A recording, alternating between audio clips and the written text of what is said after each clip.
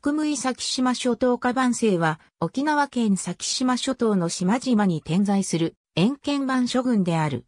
2007年3月23日に13の島の18カ所が国の史跡に指定された。また、2014年3月18日に大三輪島の大三輪島遠県台が追加指定され、対象は14の島の19カ所となった。地理的に中国に最も近い位置にある先島諸島では1644年頃に琉球王国を付与国としていた薩摩藩の要請によって遠県番所が設置された。のろしのための火を燃やして監視に当たったことから先島諸島ではカバン星と呼ばれる。